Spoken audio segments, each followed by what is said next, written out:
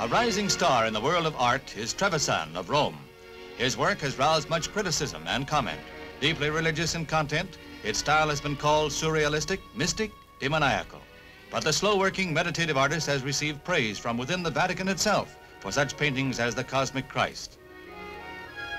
Cain Monster of Evil has been judged deeply significant.